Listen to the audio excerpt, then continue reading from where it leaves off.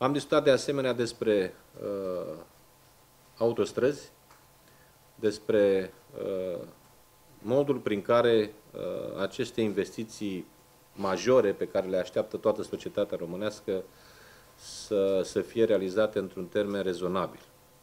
Premierul a prezentat uh, de asemenea uh, stadiul implementării programului de guvernare.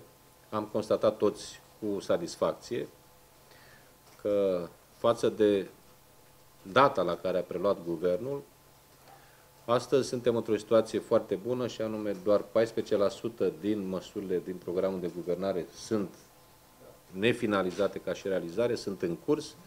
Uh, la sfârșitul lunii septembrie, toate prevederile din programul de guvernare vor fi aduse la, la termen, în așa fel încât anul 2017 să fie încheiat cu respectarea uh, măsurilor și acțiunilor care sunt prevăzute uh, acolo. Am avut o discuție cu primul ministru și cu ministrul transporturilor despre autostrada pe Valea Prahove, pe lângă celelalte autostrăzi. Acolo există un proiect mai vechi, care are și avizele de mediu.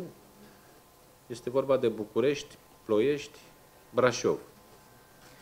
Autostrada Comarnic-Brașov nu implică și autostrada între Ploiești și Comarnic.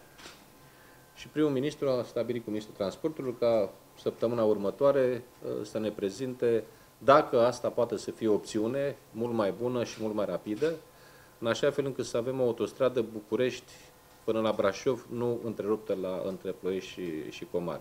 L-am rugat pe primul ministru ca în săptămâna următoare, dacă reușește să finalizeze, să stabilească o listă de obiective strategice de importanță națională în domeniul agriculturii, în domeniul sănătății, în domeniul infrastructurii, în domeniul educației, în domeniul cercetării. Uh, va fi stabilită și aprobată această listă. Sperăm să găsim o înțelegere uh, la toate forțele politice. Sperăm. Să vedem și dacă reușim.